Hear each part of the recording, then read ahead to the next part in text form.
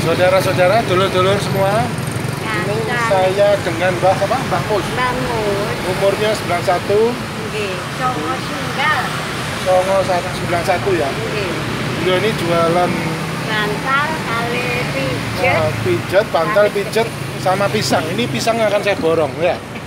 Ya, dulur-dulur kabeh kasihan Mbah ini. Mbah Mus 91 masih jualan pisang. Ini pisang saya borong. Kasihan. Oh, tenang. Ya, depannya ini di, di depannya eh, sekarang di Ketintang ya Mbak ya. Nggih. Di Ketintang eh, depannya Harum Mana. Ah ya, kita Ketintang dekat dekatnya Unesa.